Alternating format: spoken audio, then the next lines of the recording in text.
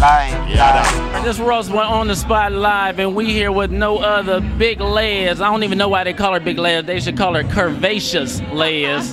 but you know how it is when a black girl does backflips. They're like, who's that? All the junk in the trunk going upside down. And it's, yes, the big girl, L-E-Z. And no, I don't play basketball or run track.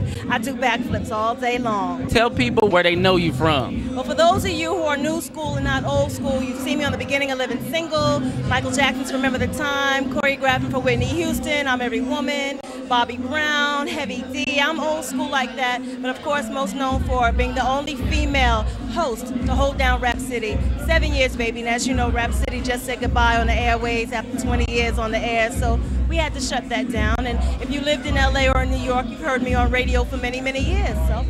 Even a couple movies and things like that. Oh, you're killing me. We're not gonna talk about those. We oh, not. Don't worry, I kept my clothes on, but I'm just saying. Okay, Belize, what you know about that? You know what? I've never, I've actually been to Belize. I went to Belize and Guatemala last year, and I went to the Mayans, and I had the best time. Stayed at uh, San Ignacio, which was amazing. Loved the trip, loved the people. Everybody in Central America was showing nothing but love. The food was off the chain. Made me feel like I was in Spanish Harlem, get some arroz con pollo and all that stuff. So it was real good with a little, you know, island twist. What's the deal, y'all? It's the girl who can backflip in 5, 6, 7, 8 all day, every day. Your girl, Big Lez, and you know you are watching On the Spot Live TV. On the spot, the spot.